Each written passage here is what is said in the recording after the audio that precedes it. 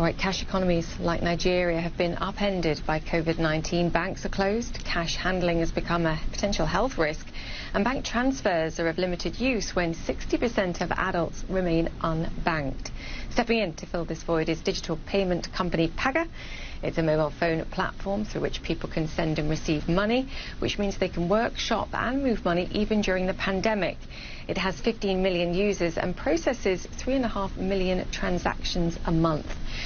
Joining us now is Tayo Oviosu. He's the CEO of Paga. Tayo, great to have you on the show. Just explain in your words how Paga works, because I know you have what I believe around 25,000 agency businesses that facilitate these transactions all over the country. In your own words. Julia, thank you very much for having me on here. Uh, it's a real great pleasure. So Paga is a mobile payment service, um, and what we are doing is solving two problems fundamentally. One is the use of cash. Um, and as you mentioned, in Nigeria, countries like Nigeria, use of cash is very significant. Um, and then the second is access to finance. And the way we do it is by combining a physical network of mom and pop shops, pharmacies, grocery stores, and neighborhood communities all over the country to uh, offer services to the mass market as well as um, providing a digital service on any mobile phone, including the most basic mobile phone um, on all mobile networks. So if you have a, any type of phone, you could just dial star 242 hash and you could access the Paga menu and you can do your transactions regardless of what mobile network you're on.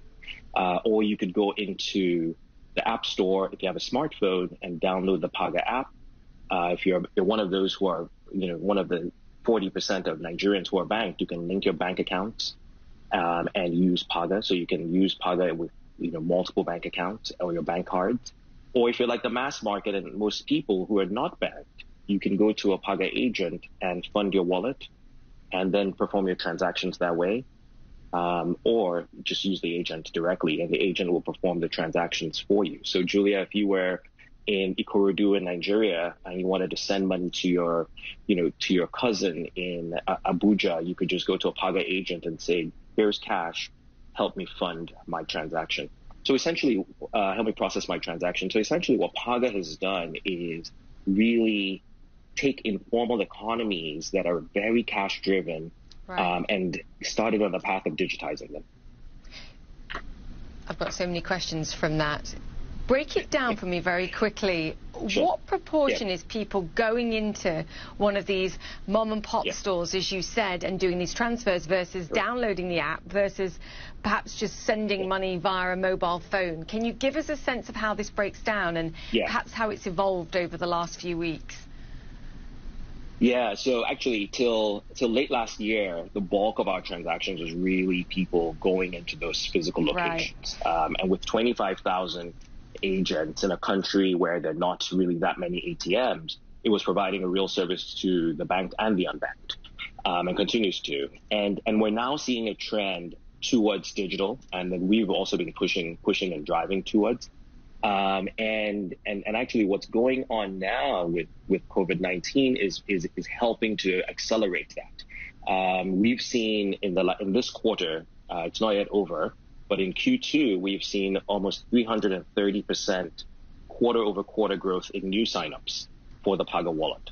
Um, and this is people using star 242, right? So these are mostly people with basic mobile phones um, registering for the account. And we've seen an uptick in the transactions that we're, we're getting from people using Paga on their own as they look for options um, as they're not able to, during the lockdown, we're not able to go out and perform their transaction. Yeah, I mean, lockdown has, has had that effect. So this is a vital resource for people that simply can't get out there. Talk to me about commissions. How much does it cost to do this? Because it also matters for things like remittances too, remittances too, and sure. you can talk about that. Yeah, if you go to a Paga agent um, and you want to send money to someone, the typical amount that people send on average is about 14,000 naira. It would cost you about 100 naira, which is just shy of 50 US cents uh, actually a bit a bit lower than that now with with what's going on with the currency. Um, but if you were to do that on your own um, from Paga, you can send money to anyone using their mobile phone or their email for free. Um, and if you were to send that same amount to a bank account, you would do it for 50 naira. Um, so at least half the cost if you did it by yourself. And and so, but really, what we're driving here is for people to you know to use the service for free. Um, and so everyone who has an account, very similar to PayPal or Venmo, uh, sending money to somebody else within the system is free. So I was just doing some math there. I believe you've got 15 million sure. users, population of around 200 million in the country, so it's around 7.5%. How quickly do you think this can grow? What kind of market share can you get here? Yeah, no, I think we've laid the, the, the strong foundation uh, needed to to to really win this market, um, and and I think there's an opportunity to in the next five years have somewhere in the you know 40 to 50 million users on our platform, right? Um, and, and we're talking about the adult population here, right? So really our goal is we want to make life possible for people. And that's the ethos of what we do because we don't, we don't think it's about the payment itself. It's about what you're trying to actually accomplish, whether that is to get your daughter to go to school, right? Or whether that is to buy you know, a birthday present for your wife, right? Um, whatever it is you're trying to accomplish, payments is just one element of it, and we want to simplify that for you. Yeah, it's vital for small businesses as well when we're talking about that proportion of people that are simply unbanked. If Correct. you want to um, foster growth in your business. Speaking of growth in your business, you have mm. and have expansion plans in Ethiopia. Mexico was also an option. What has COVID 19 meant for, for those plans too and for your business itself? You know, the you know our board and investors and our team are really much. I've looked at this and said, look, this is the the opportunity for us because we do see the trends of the world is going to go more to digital, right? Um, you know, the use of cash is is very is, is dangerous. Uh, for many reasons, but now there are health reasons as well.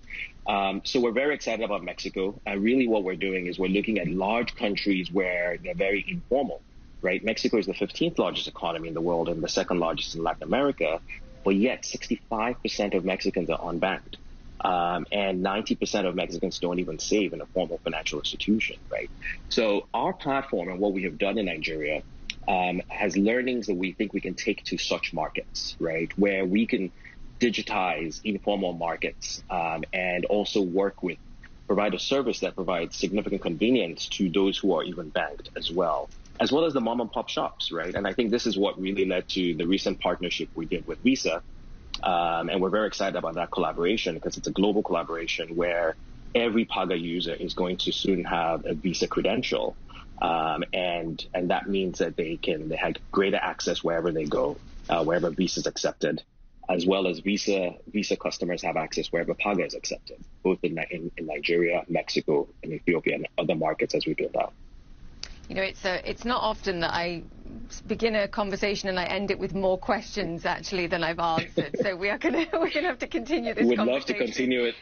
Fantastic. We'd love to continue it sometime. And thank you so much for having me on. I, I actually just noticed that you uh, you debuted your show on my birthday, so good oh, wow. good good signs. It is yeah. a good sign. September both 10th. of us, clearly. Yes. Great to have you on. Uh, stay in touch, please. Please stay safe. And stay safe. Thank you. Yeah, you too.